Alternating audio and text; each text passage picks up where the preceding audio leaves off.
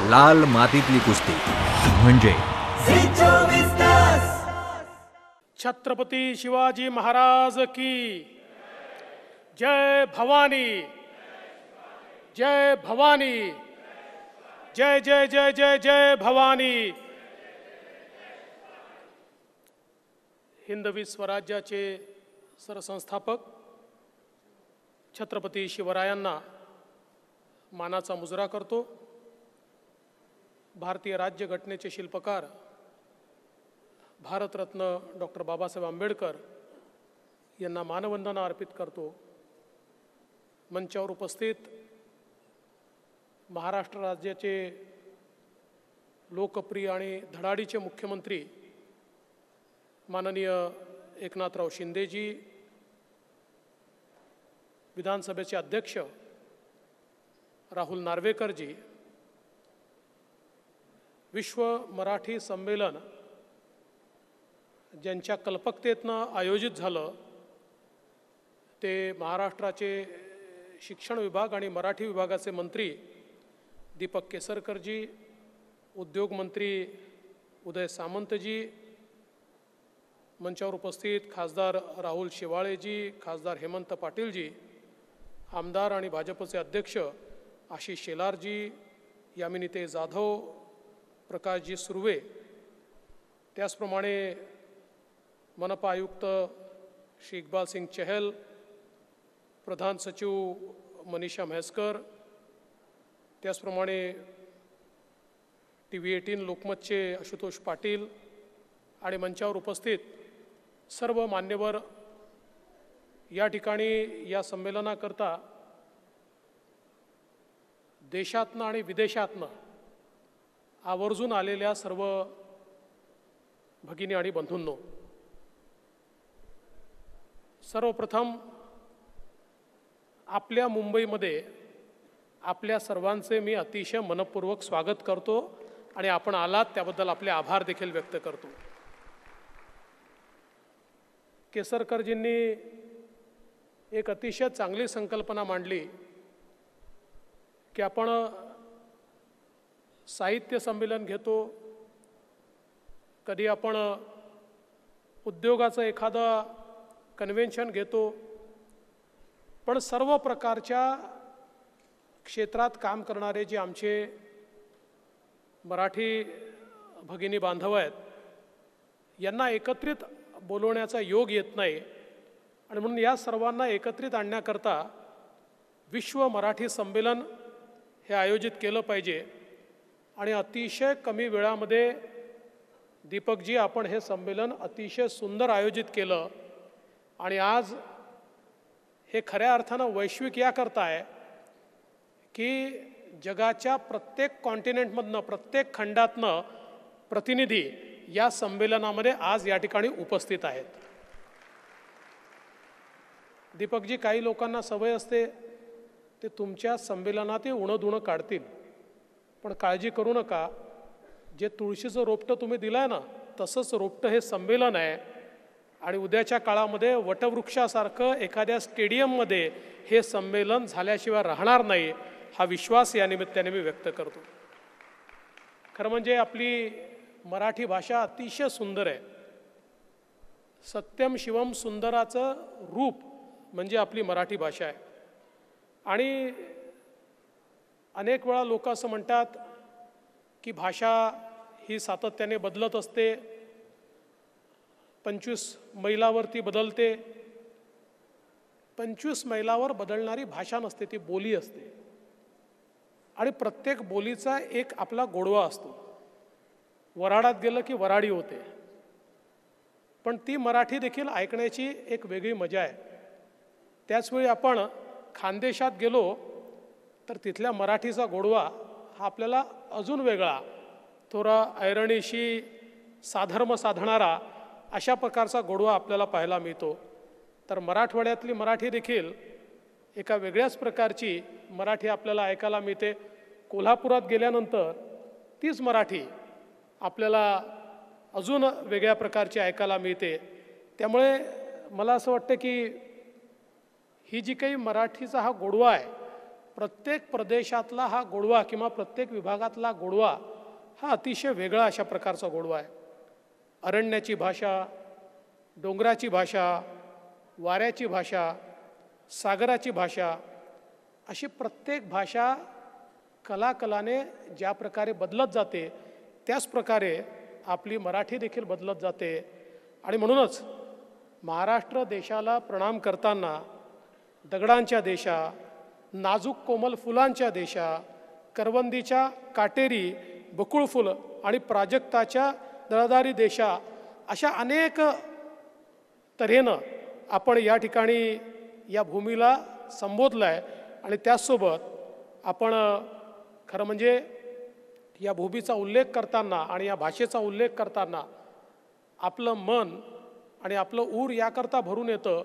कारण या भूमीने भारत मातेला एक अभिमान दिला एक स्वाभिमान दिला आहे आणि परकीय आक्रांत्यांच्या जाळातनं देशामध्ये पहिल्यांदा स्वराज्य स्थापन करण्याचं काम या मराठी भूमीने या ठिकाणी केलेलं आहे. याचा एक फार मोठा अभिमान आपल्याला आहे. खरं म्हणजे साडेसातशे वर्षापूर्वी ज्ञानेश्वर माऊलींनी आता विश्वात्मके देवे असं एक वैश्विक गान पसायदानाच्या रूपातनं एक वैश्विक दान या ठिकाणी मागितलं.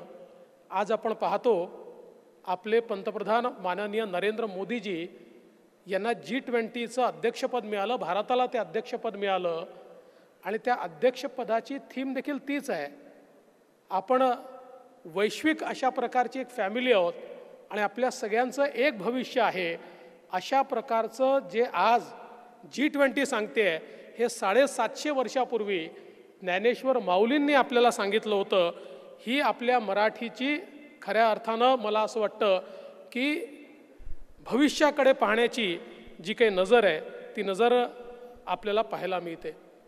खरं तर लीळाचरित्रासारखं मराठीतलं एक वाङ्मय जे का आद्य वाङ्मय मानलं जातं हे ज्या काळामध्ये लिहिलं गेलं त्या काळामध्ये कदाचित भारतामध्ये इतर कुठल्याही प्रदेशातली कुठली भाषा एवढी प्रगल्भ नव्हती.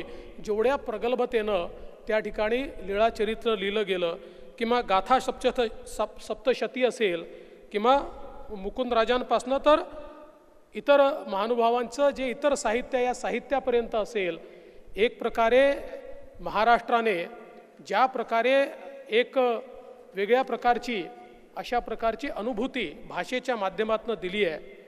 आणि मराठी ही किती जुनी आहे आणि ती किती त्याचा स्वाभिमान आहे. खरं म्हणजे आपण बघा संत ज्ञानेश्वरांनी मराठी भाषा सुंदरी अशी कविता लिहिली आणि त्यात कवितेत ते काय म्हणतात? जैसी दीपा माझी दिवटी का तिथी माझी पौर्णिमा गोमटी तैसी भाषांमध्ये मराठी सर्वोत्तम.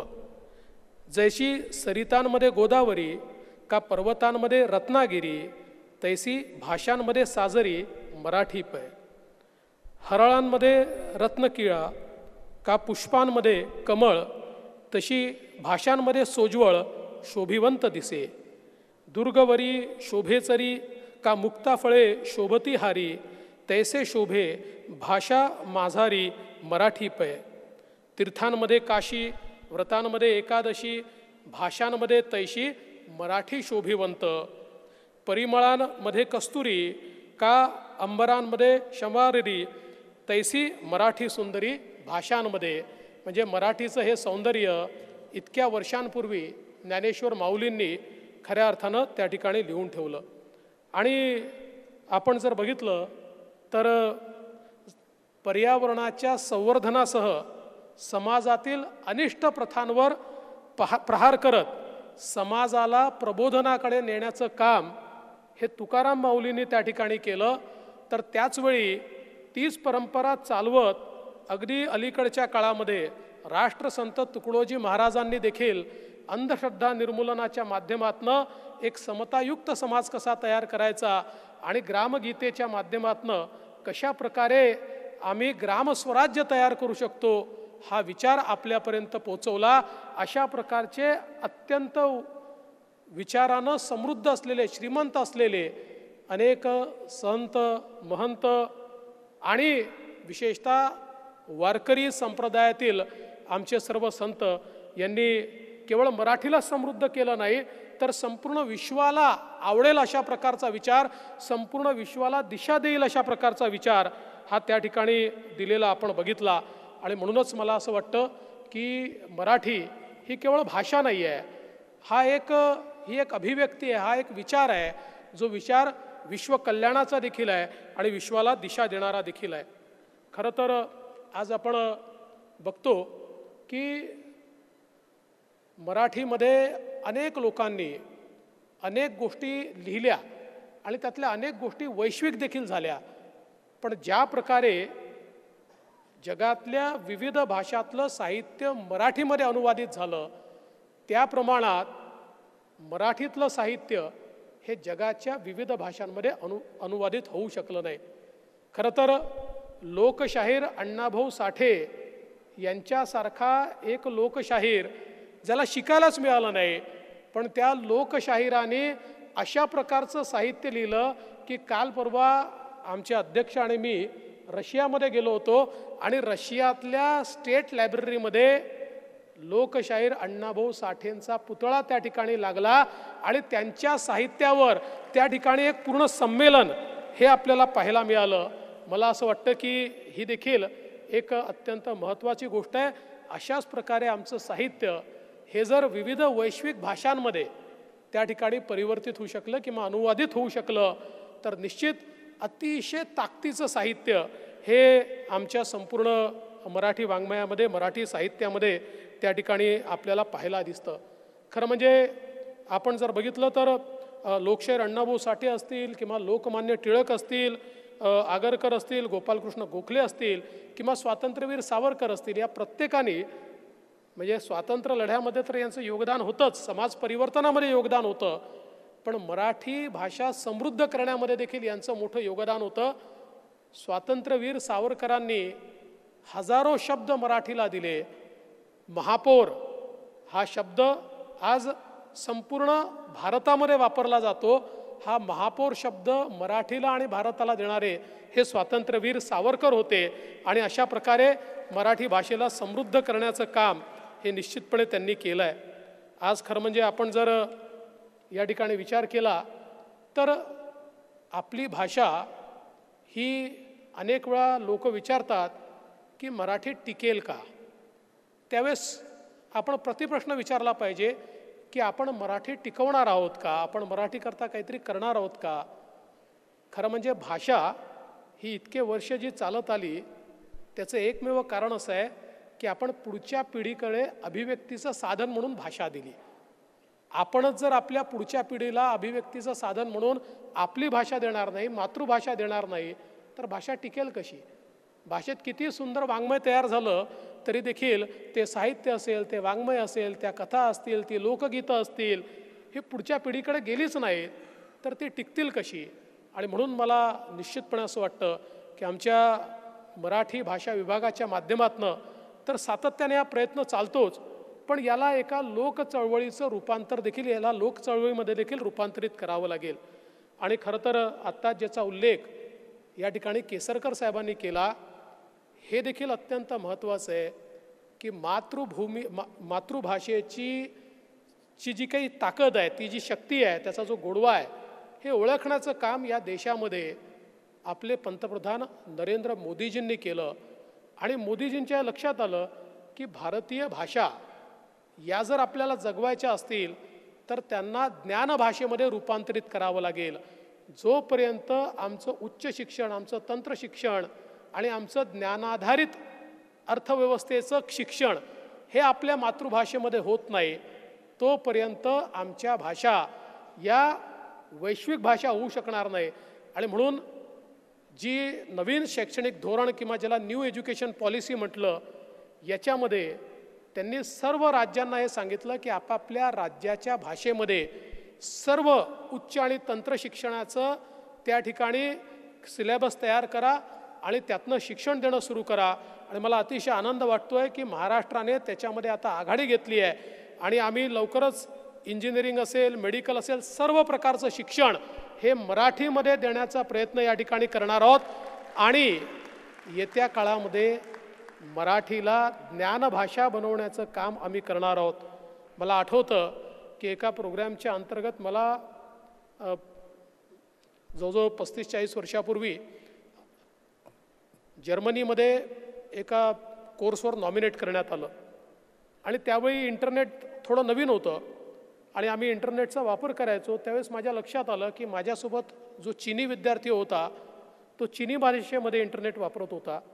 जो जर्मन होता तो डॉयच भाषेमध्ये करत होता. जो फ्रेंच होता तो फ्रेंच भाषेत करत होता. आणि आम्हीच फक्त इंग्रजीमध्ये इंटरनेटचा वापर हा त्या ठिकाणी करत होतो. खरं म्हणजे आज आपण बघा की जर्मनीने सर्व शिक्षण जर्मन भाषेमध्ये केलं पण जगातले बेस्ट इंजिनियर्स हे जर्मन आहेत.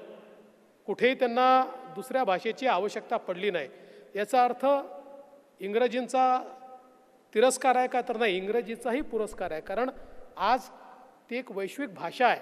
त्यामुळे त्या भाषेचाही सन्मान आहे. पण त्याचवेळी तेवढीच वैश्विक भाषा होण्याची शक्ती आमच्या मराठीमध्ये देखील आहे. आणि म्हणून त्या मराठीला तिथपर्यंत पोचवण्याचं काम हे येत्या काळामध्ये आपल्याला निश्चितपणे करावं लागेल.